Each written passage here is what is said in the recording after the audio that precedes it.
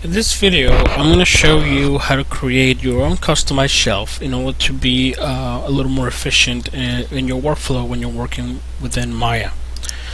Um, so the first thing that I'm going to do in, in order to create my customized shelf it's go into my menu of item to modify the shelf, which is this arrow right here. I'm going to click on it and then go to new shelf. Then it's going to give me a window for me to create a uh, give it a name. So in this case uh, it's uh, for me it's just gonna be my tools. And then press OK. And you're gonna notice that it actually created uh, a shelf at the end of my shelf bar over here. And now what I need to do is actually uh, start adding the different tools that I'm going to be using. In this case um, um, for instance going to be a mo uh, modeling project. So uh, I'm gonna switch into polygons. And I'm gonna go into my edit mesh. I'm just gonna attach this so I can have access to all my tools. And I'm just gonna start including um, a couple of my modeling tools the modeling tools that I use the most. So I'm gonna hold control shift left click and then click on extrude. And notice that my extrude tool now appears within my the tool that I just created. So I'm just gonna go down the list and just uh, in, uh, add a couple of more a couple more tools that I I use a lot during my modeling process. So uh, I'm gonna I'm gonna include uh, insert edge loop tool. So Control Shift left click. Going down the list here, uh, connect components. Again, Control Shift left click. Uh, delete edge vertex tool. Control Shift left click I'm also going to be adding the beveling tool. Alright. Leave it there. I also want to add a couple of uh, create tools over here. Um, again usually in polygonal modeling you start from a primitive. So uh, I'm going to include a sphere cube cylinder. Just uh, close that then I want to switch into my surfaces and uh, include a couple of my uh, surface uh, surface based tools. So I'm going to go into edit curves. I want to include uh, insert knot. So control shift left click. It's right there. Surfaces. I'm going to include revolve, loft, planar and under edit NURBS I want to include a insert isoparms so I'm just going to control shift left click. And now I have a customized shelf that has the tools that I um, that you know my my workflow uh, I would most likely be using.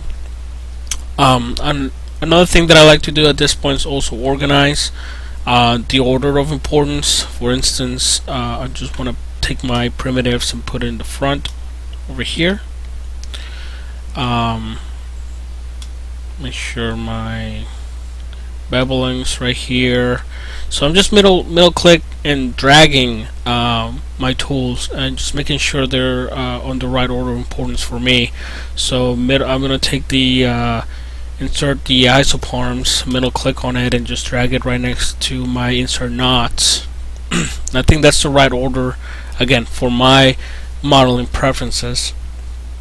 Um, the next thing that I like to do um, oh actually um, there's other way, other ways that you can go about organizing um, your customized shelf and also you can actually customize the location of your shelf within uh, the shelves that you have here and it's by uh, going into your shelf editor which is right under the uh, menu of items to modify the shelf so just click on the arrow shelf editor and uh, by default it's gonna have highlighted the shelf that you have selected. So in my case it's gonna be my tools and here it has a list of all of the tools that I added into my shelf and uh, at this point I can take my customized shelf and uh, again by default it's going to start at the end of the shelf area over here. And I actually want to bring it to the front. Again uh, just to kind of keep give it a, uh, a little bit of order uh, of importance. So I'm just gonna click on the move up uh, red arrow over here. Just move it all the way up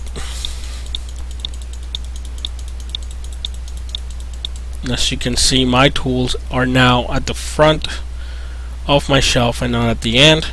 I can also uh, either move around my shelf my uh, the different tools within my customized shelf uh, by using the move up and move down in my shelf content uh, part of the window here.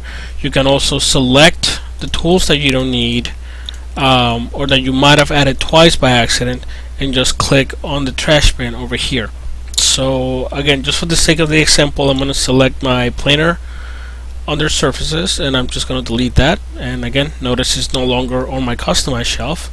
So I'm just going to go ahead and uh, just click on all shelves uh, save all shelves.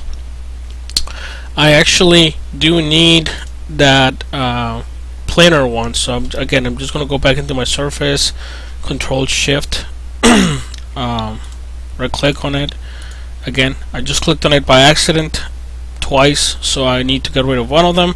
I can go back into my shelf editor. Um,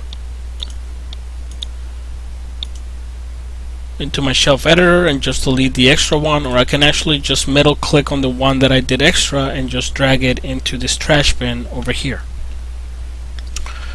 Um, beyond this, in, enable in, in order to be able to uh, take this shelf and be able to uh, have it with you at all times. Again, sometimes you're you're not going to be working with your own computer. Um, what you have to do is make sure that you have all your shelves uh, saved. So it's basically going to uh, whatever you just customize is going to is going to save within uh, the preferences of your computer. So what you can do is actually go into the preferences destination in your uh, computer and uh, your PC will be somewhere within your documents your Maya folder uh, this is just whatever version you're using and then the prefs folder so and when you're within the prefs folder you have a couple of different things that, uh, that are saved within your Maya.